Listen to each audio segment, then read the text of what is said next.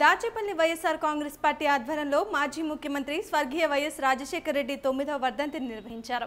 ఈ కార్యక్రమానికి YCP party Gurazala నియోజకవర్గ సమన్వయకర్త కాసు మహేష్ రెడ్డి వైసీపీ పార్టీ రాష్ట్ర బీసీసీఎల్ ప్రధాన కార్యదర్శి జంగా కృష్ణమూర్తి పాల్గొని పట్టణంలోని వైఎస్ఆర్ విగ్రహాలకు మరియు నారాయణపురంలోని రైల్వే గేటు వద్ద గల వైఎస్ఆర్ విగ్రహాలకు పూలమాలలు వేసి నివాళులర్పించారు. ఈ సందర్భంగా ఆయన మాట్లాడుతూ రాజశేఖర రెడ్డి ముఖ్యమంత్రిగా ఉన్న సమయంలో పేద బడుగు బలహీన వర్గాల ప్రజల కోసం ఎన్నో సంక్షేమ పథకాలు చేపట్టారని అన్నారు. ఈ కార్యక్రమంలో జడ్పీటీసీ ప్రకాష్ రెడ్డి మండల మండల పార్టీ కన్వీనర్ జాకిర్ హుసేన్ తదితరులు పాల్గొన్నారు.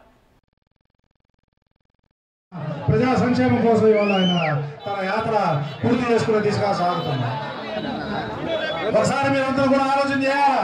ఇవాళ రాష్ట్రంలో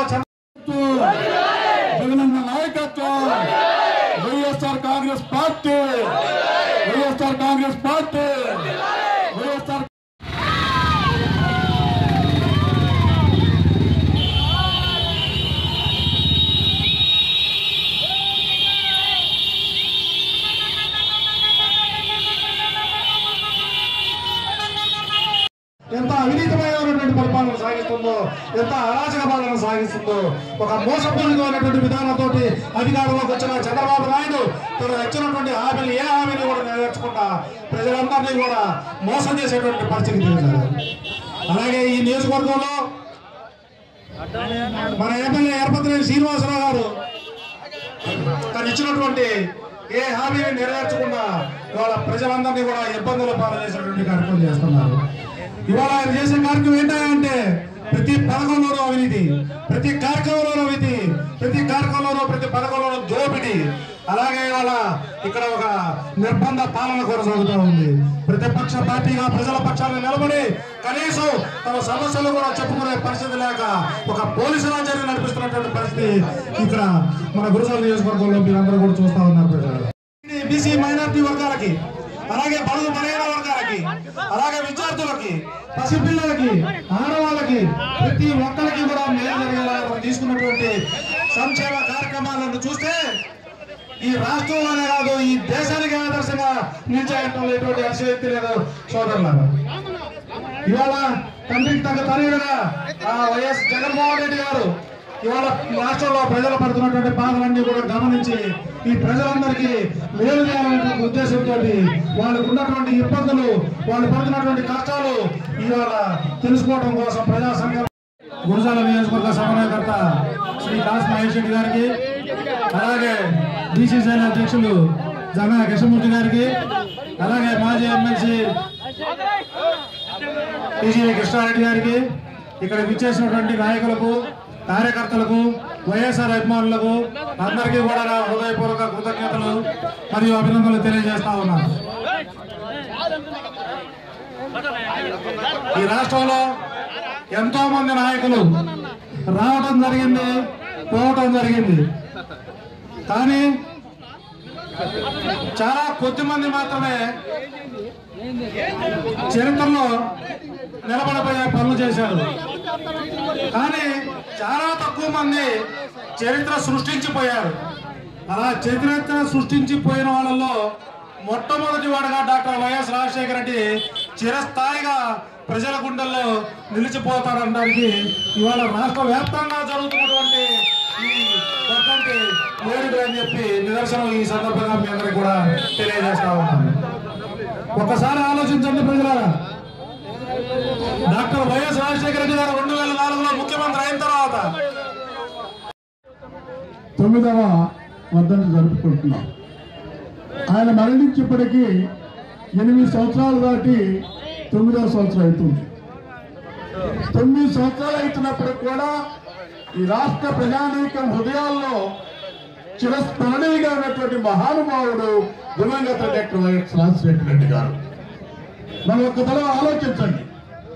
ఎప్పుడు కూడా ఈ రాష్ట్రంలో కానీ దేశంలో కానీ ఒక నాయకుడు మరణించినప్పుడు ఆయన యొక్క మరణాన్ని జీర్ణించుకోలేక వందలాది మంది సంబంధించినటువంటి ప్రాణాలు కోల్పోయిన పరిస్థితి ఒక దివంగత డాక్టర్ వైఎస్ రాజశేఖర రెడ్డి గారికి దక్కిన విషయం కూడా మీకు మనం చెప్తున్నాను ఒక తరం ఆలోచించండి.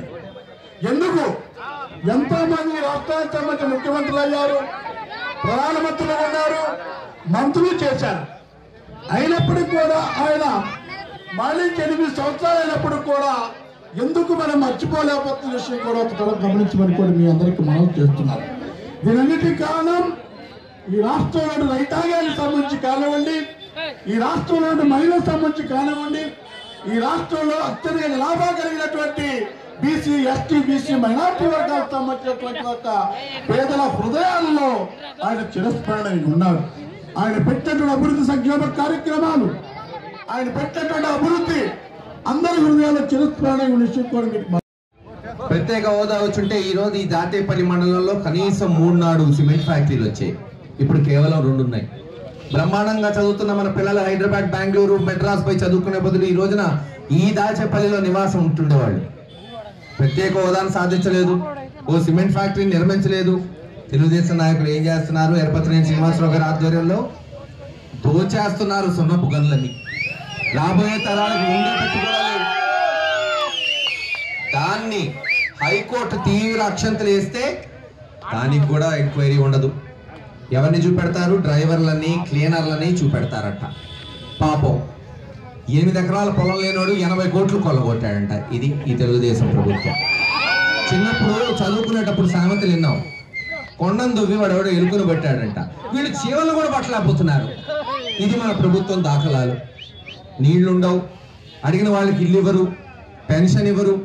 పోనీ ఇవ్వాల్సి వస్తే ఇది పచ్చ చొక్కానా పచ్చ ప్యాంటా ఏం వేసుకున్నావు? ఇది వాళ్ళ పరిస్థితి.